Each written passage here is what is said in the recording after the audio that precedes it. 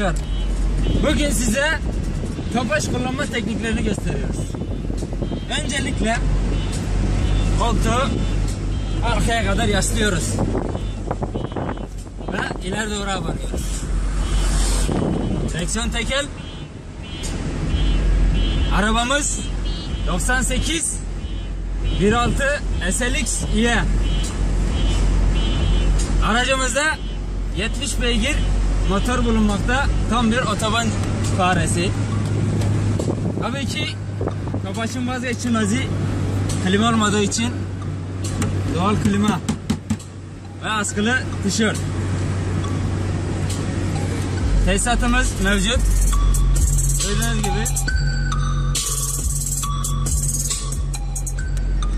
Hidrolik direksiyon var. Vites topumuz arkadaşımız göstersin. Spor kısaltılmış. Bu arada vites yükseltiyoruz.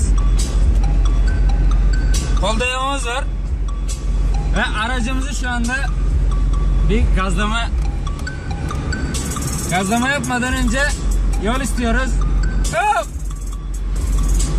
Yol istedikten sonra kameraman tutunuyor musun? Yükleniyorum.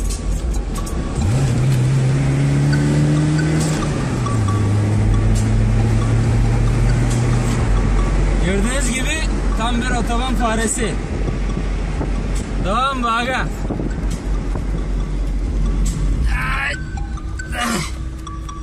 Araba basık olduğu için sürtme yapıyor. Onun için biraz dikkatli kullanmamız gerekiyor.